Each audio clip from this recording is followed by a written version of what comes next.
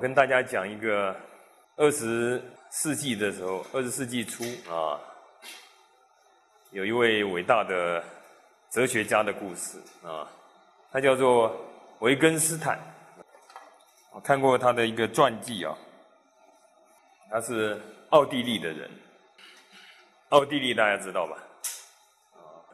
他很年轻的时候就完成了一本很有名的哲学著作，叫做《逻辑哲学理论》啊。他就认为自己对于哲学已经完全搞通了，他要不用在这个领域里边再探讨了，那以后也不要再做哲学研究了。后来他就跑到奥地利，就跑到他的家乡山上的一个小村庄的小学校教小学。这蛮有意思的，那个哲学家，然后去教小学，结果他的 EQ 很不好，脾气暴躁。那你要知道，那个是，那是大概七八十年前的时候，那个时代比较没有像现在这种所谓爱的教育啊，所以他尤其是他特别暴力啊，就如果学生功课不好不读书啊，他就拳打脚踢，甚至打到小学生都受伤了，头啦脸啊都被他打伤了。后来引起村民的共愤呢，公愤呢，就把他赶走了。赶走以后呢，他就到了英国剑桥大学当教授。后来他成为举世闻名的大哲学家，很受尊敬。可是呢，他发生一件事情，就他心灵产生很大的危机，结果最后呢，严重的精神病，精神崩溃了，花了很长的时间去治疗。那他在复原的过程之中啊。他就察觉到自己会精神崩溃啊，是因为有罪恶。他这一个哲学家很有智慧，是因为有罪恶，他一定要去弥补以前的罪恶，尤其最大的罪恶就是以前欺负那些小学生。所以呢，这已经是二十年以后的事情啊。那些小学生都已经二十五六岁、三十几岁了，他就从英国回到奥地利，去找以前被他殴打过的这些学生。一个一个的去拜访，每个都给他找到了，像你们小学老师啊，找上门来了，每个都被他找到了，然后一一向他们忏悔，甚至跪下来请求他们原谅，这么虔诚，好像一个朝圣者一样啊，跋涉万里啊，去寻找他教过的学生，而且是跪在地上向他们忏悔，请求他们原谅，因为他知道唯有这样子呢，才可以弥补自己的罪，他的精神病才会好，因为他所有的。痛苦都来自于他有罪，他必须要请求他们的原谅，才可以把内心的罪恶啊，那个脓疮啊治疗好。那是一个哲学家，他很清楚。结果你知道吗？他这些学生啊，不管是男生还是女生，竟然没有一个原谅他的，没有一个肯原谅他。所以我们有时候想的很简单，我们伤害人呐，我们带给别人痛苦，我们想。我后悔了，你就应该原谅我。谁要原谅你啊？啊，像他这样子这么诚恳的去忏悔，没有一个人愿意原谅他。越看到他痛苦，越不愿意原谅他。你们，你当初让我们痛苦，为什么今天要原谅你？你受苦，你受罪是应该的。这是这个维根斯坦的真实故事。所以我们在成长的过程中，我们要注意，千万不要伤害别人。啊，伤害别人，最后呢，就会最后结果是伤害到自己。但是有时候呢，我们人生也觉得我们没有伤害到别人，可是我们还是会碰到受苦的时候，生重病的时候，精神崩溃的时候，事业崩溃的时候，家破人亡，灾祸现前。为什么呢？因为我们有时候是上辈子的罪业，我们的罪业太多了。真的碰到所谓的业障现前的时候，就像这个哲学家维根斯坦，他业障现前了，但是他知道。他知道自己是因为二十年前犯的错，他还去弥补，可是没有人愿意原谅他。那如果是我们呢？我们有时候业障现前，我们还不知道自己造了什么罪呢，这都怎么办呢？我要告诉大家一个最简单的办法，就是念佛。今天我们得到了啊，子乔今天才得到，你你有得到那个五字真言，你念一遍我有听看，五个字。对，这是弥勒佛的名号，念佛可以消业障。以前普贤菩萨讲的，一切业障啊，就像海一样的深呐，就像海一样的深。对他这个维根斯坦，他不是一个小小的业障啊，他没有得到，没有得到原谅啊，没有得到赦免，他还是活在痛苦之中。那我们业障像大海一样，但是呢，这些业障从哪里来的呢？都从妄想生出来，胡思乱想啊，最后你就乱说话，先是乱想，最后乱说，最后乱做，造成了所谓的业障。而业障呢，就会造成你的痛苦、你的疾病、你的失忆、你的精神崩溃，然后你的妻离子散、家破人亡，都从这个业障来的，都可能会发生的。所以皆由妄想生。那你想要消除这些业障，若欲忏悔者，有一个最简单的办法：端坐念十相，啊，端端正正的坐在那里，手抱合同，念，一直念，一直念，要有诚心，一直念，这是药啊，这是治业障病的药，业障就会消掉。你也不用去像那个维根斯坦一样，从英国跑到澳国去，去找那些学生，找到以后跪在地上跟他们忏悔，没有人要原谅他。啊，没有人要原谅他，人家干嘛要原谅你？啊，只有念佛，只有念佛才可以彻底把这个业障消除。我举个实例来说，在台北，在台北一个道心呐，他在五十八岁那年，这个道清因为年轻的时候啊，就是简简单的说破坏人家婚姻，啊，成为别人的第三者，而且第三者不是当个两三年哦。是三十年，当了三十年的第三者，然后在这个三十年当中啊，他堕胎过无数次，看业障重不重？被他杀掉的那些胎儿，是不是？为什么要原谅他？最后这些恶果啊，结成什么？在三十年之后，他五十八岁那年，在他大肠啊，长了一个五公分大的，差不多这么大，一个恶性肿瘤。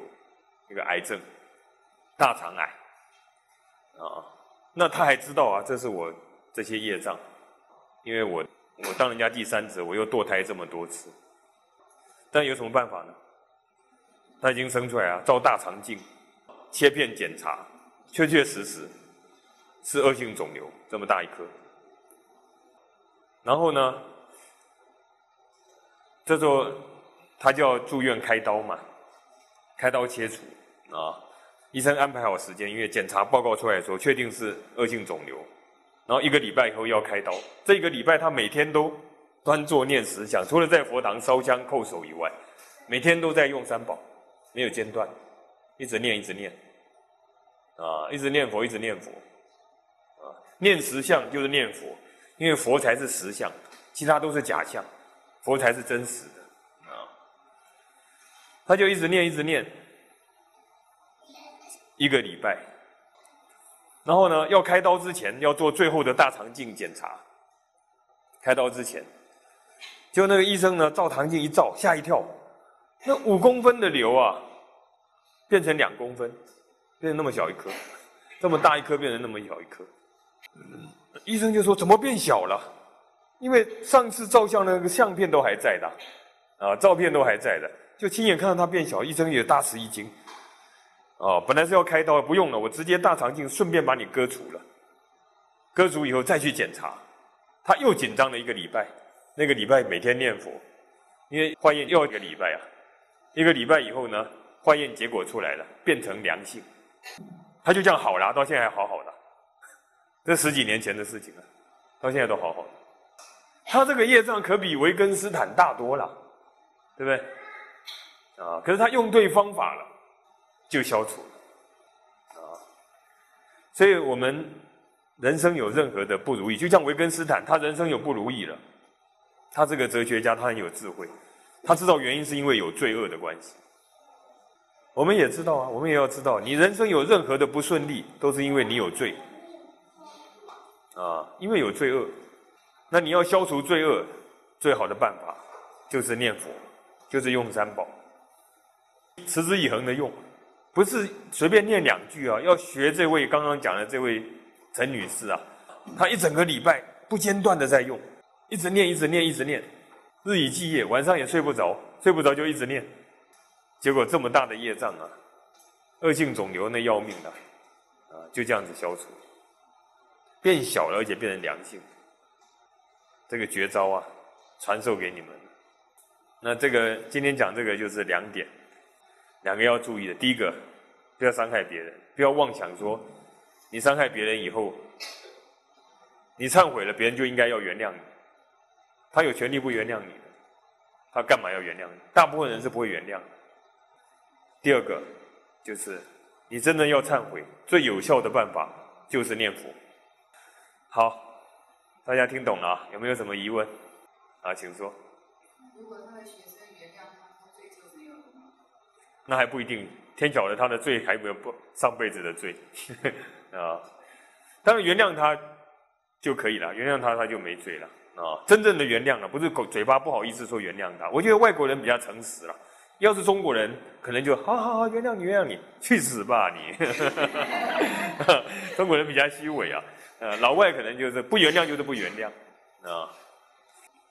不过回教是这样啊，回教说你，你如果做了对不起别人的事情，一定要取得对方的原谅，才算是忏悔成功，不能光自己忏悔。回教是这样，啊，回教的教义啊规定说，忏悔必须要取得对方的原谅。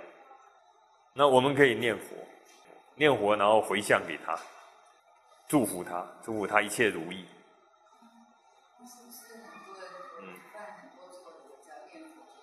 哎，你真的拼命念佛的话，就可以消除。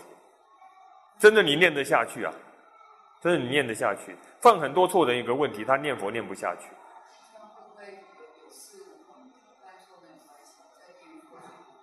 哎，你你犯错，你这种存心想要犯的错，再念佛去补的，你念佛会念不下去，没办法念到一心不乱，没有悔过之心嘛。你要先忏悔呀，若欲忏悔者。所谓忏悔是，忏就是就是以前我所做的一切，我忏悔，啊，我我认错，然后悔的意思就是我以后再也不做一样的事情，要忏悔，啊，这叫忏先罪，悔后过，忏是忏的是先罪，悔的是后以后的过失。你要先有忏悔的心，就是我再也不犯了，这时候念佛才有效啊。如果心里想的是。念佛消一消，再来干坏事，啊！我喝酒、赌博、吸毒，快来念佛，消了以后我再来吸毒。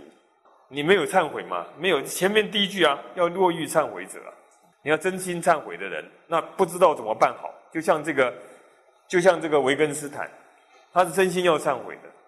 那这时候他如果念佛，或者以基督教徒来讲，他祷告，这个圣经也是这样讲啊。你祷告比直接去请求人家原谅还快。啊。我们怎么知道要念多久，念到什么样的程度才才消？你就拼命念嘛，念到你问题解决了，就算消了。对，要拼命的念。要要念佛啊，要念到什么？一心不乱，很专注，很专注，念头都只有前念后念都只有佛号，没有间断，没有没有掺掺杂一大堆的妄想，那就是要念佛。成功了，啊，就会达到消业障的效果。这这种例子很多啊，我们道场里面这种例子很多，啊，关键就在说他有没有办法像我我刚刚讲的这位陈女士啊，她这么专注的，连续七天的拼命的念，不间断的念。好，行。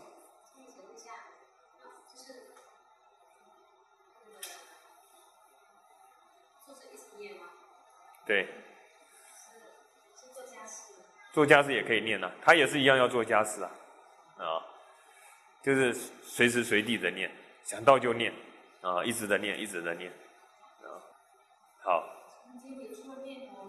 嗯，当然有，我今天就传这招而已啊，呵 呵方法很多，但是这招对大部分人来讲是最管用的，啊，直接念佛，一直念，一直念。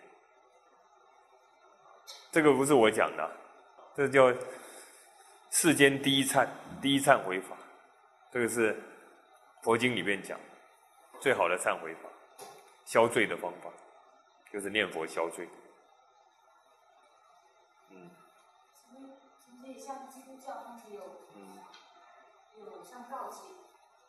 哎，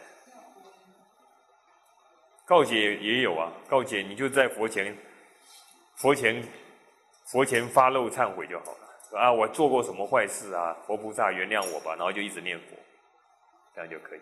但有时候告解是这样，是这辈子的，你上辈子有犯过什么错事，你根本就忘记了，对不对？你怎么告解？所以还是知道的过失要告解。佛家叫做发露忏悔，基督教叫做告解。啊哎，好，没关系，你说，啊，嗯，啊，哎，你就光念这个，念到一心不乱，所有的罪都消了。哎，你念多杂乱也不见得有有帮助。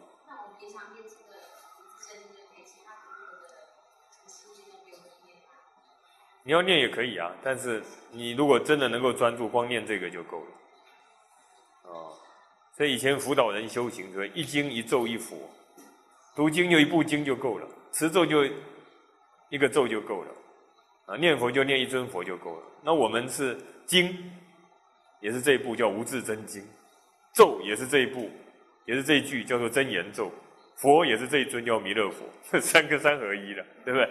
一经一咒一佛，通通在里面，经咒佛都在里面，啊，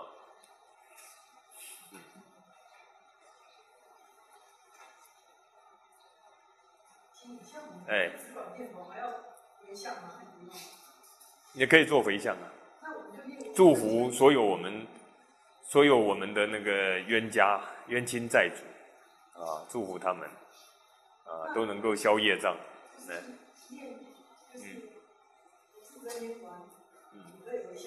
可以啊，可以回向，啊，就是祝福祝福所有所有我们的冤亲债主都能够消除业障，往生净土，那这会对他们有帮助。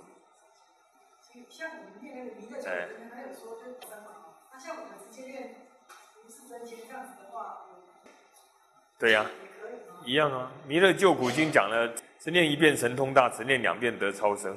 你注意看那个经文，它讲的是往来照下真言咒啊，十念当来大藏经。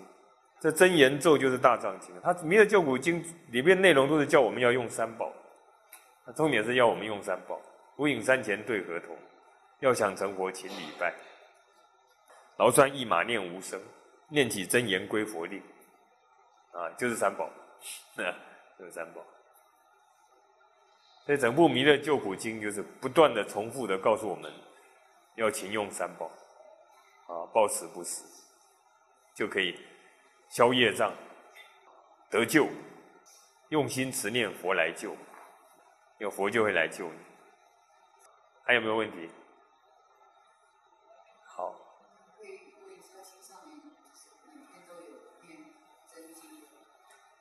来，每天都有念真经的举手一下。每天都有啊，你们两位而已。哦，三位，每天吗？每天都有，差不多每天都有。那偶尔念的，偶尔念的都有啊。完全不念的，你完全不念啊？现在开始哦，要念了。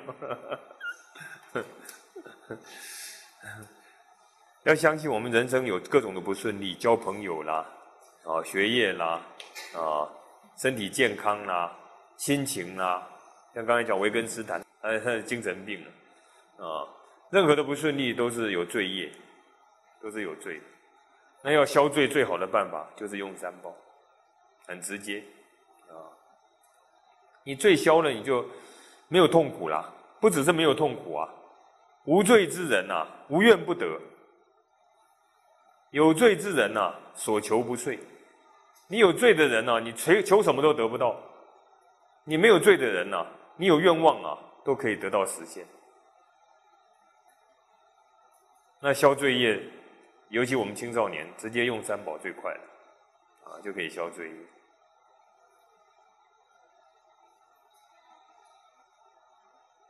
还有没有疑问？好，请。啊，你说什么？你说什么？哎，青少年用三宝最快，因为他们心比较纯净，他们肯用的话比较快。我们大人会比较杂念比较多，杂事比较多，杂物比较多，这样。哎，哎，能够这样最好啊！啊，时常念，时常念。可以可以这样子吗？讲话也可以这样子。也可以要默念呐，呃，讲话你常常把三宝加进去，你就不会废话连篇了，啊，就会见好就收，啊，也不会这个用心机啦、猜疑啦，这些都会消，然后跟人相处的沟通也会非常的好，EQ 特别好，啊，人缘会特别好。就是你把待人接物的时候，把三宝融化进去，人缘就会特别好。这样，哎哎。亲口的。啊？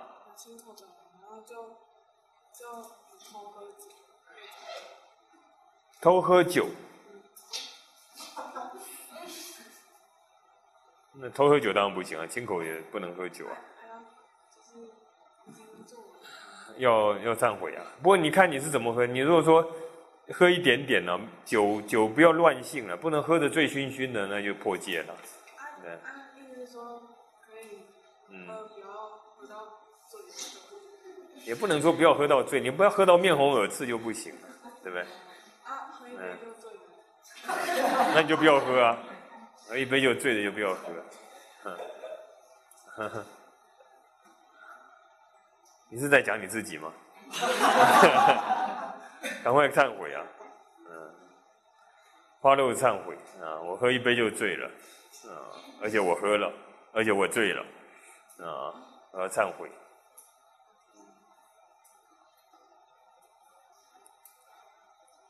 好，没有疑问，我们就下课了。